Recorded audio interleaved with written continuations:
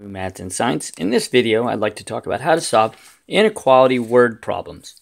So let me first fill in the blank here, the steps for solving these problems, and then I'll work two examples. Okay, first what you'll do is you'll identify the numbers that you are going to use from the problems.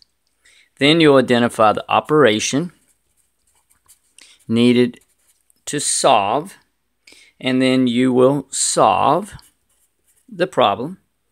And then you'll start by writing a variable. Okay. And then you'll write the inverse operation of what you did. Okay. To find the solution. Then you'll fill in the numbers from the original problem and the inequality symbol. Okay. And so let's go ahead and work through a couple examples. And finally, your solution should not be part of the inequality. The variable is in place of the solution. So let's work these steps and solve a problem. Okay, so here's our first problem, and it says Noah scored at least 12 points more than Scott scored. Scott scored 15 points. How many points did Noah score? So let's first start by identify the inequality, and our word is at least, and at least tells me that it's going to be greater than or equal to. Okay. Next, I'm going to circle the numbers. We have a 12 and we have a 15. Okay. So I next need to solve the problem. And it says that Noah scored 12 more than Scott. So I'm going to go Scott scored 15. Noah scored 12 more. So he scored 27. Okay. And so you want to know how many points did Noah score? Okay, and Noah scored at least 12 more than Scott. So there's some um, wiggle room there. So next, what it says is we're going to write an x first, and we're going to write the inverse operation, which is subtraction.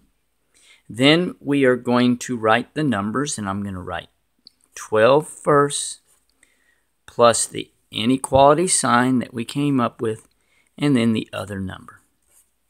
So that is one solution, or we could write 12 minus 15 greater than or equal, put the inequality sign, and then 12. So either one of those. So those are your solutions.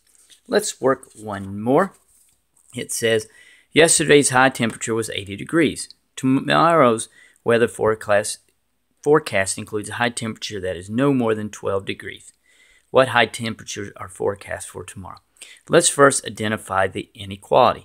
It says includes a high, temperature that is no more than, no more than. And no more than is going to be less than or equal to. And next we will circle our numbers. We have 80 and 12. Now we need to find a solution it says, let's begin. We have a high temperature of 80 and that it is no more than 12 degrees warmer. So it's going to be at least 12 degrees warmer. So I'm going to add 12 and that will give you a solution of 92. Okay. So now I need to go ahead and write this out. I'm going to start with x, put in the inverse operation, which is addition. So I'm going to use subtraction use the numbers. I'll write 80 first, put in the inequality sign, and then write the other number on the other side. And then, or do x inverse operation minus 12 less than or equal to 80. Okay, I hope that helps in solving inequality word problems. Just follow the steps, and Moo Moo Math and Science uploads a new math and science video every day please subscribe and share.